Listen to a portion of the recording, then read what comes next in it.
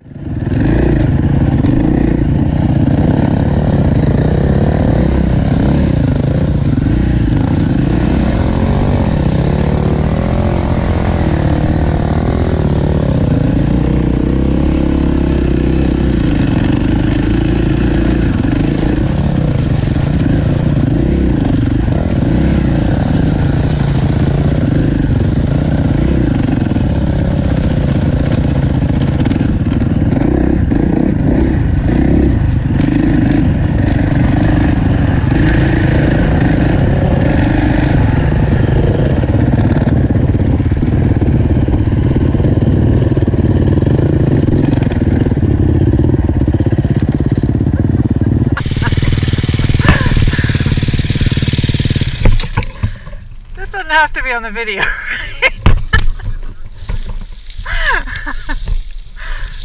I was like, I'm pretty close to her.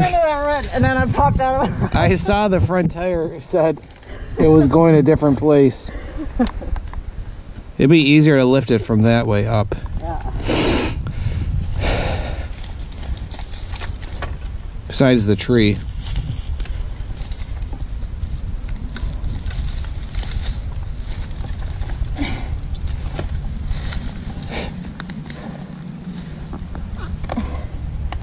Thought I was gonna save it, and then I took my right foot off the peg, and that was the death knell. Oh, really?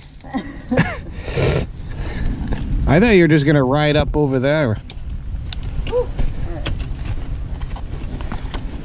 At least I don't have to kick it started. Makes you feel better. The first time we came, just now, the before this, the lap before this, I shifted in neutral at this hill. Did you? Yeah. Right tree. And is it attached to me? Oh yeah.